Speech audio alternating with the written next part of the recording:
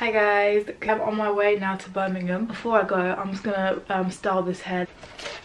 Issy hair or icy hair okay? Oh hey girl. Here they gave me a straight wig.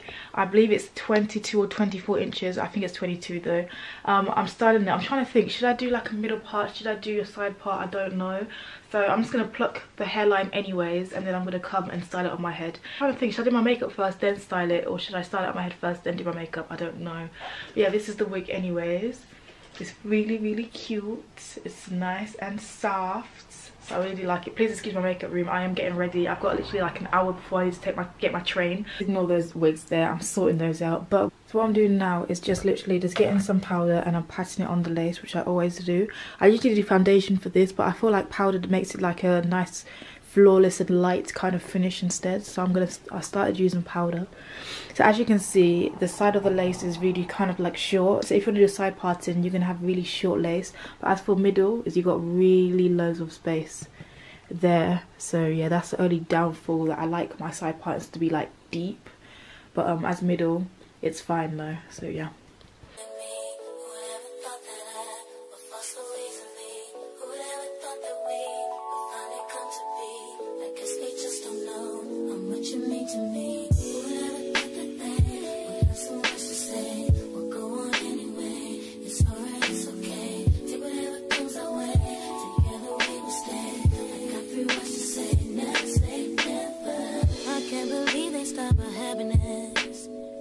Trying to pull us down with such mess.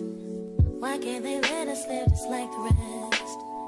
And keep us out of all this crazy madness. Now when they talk, I think it's just a shame. That all they do is sit and think my name. My name.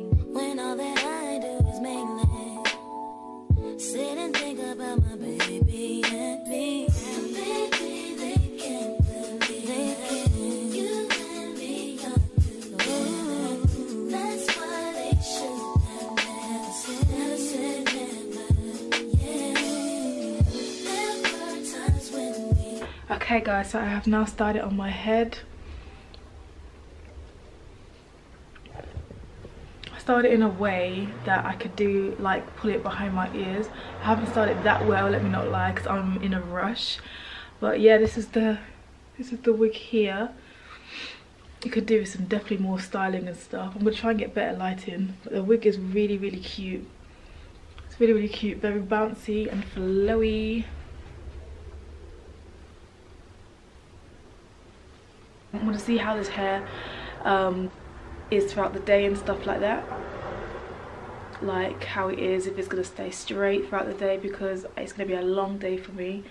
So yeah. So I'll come in after um, a little date with Ems. Always the hair is still really really nice.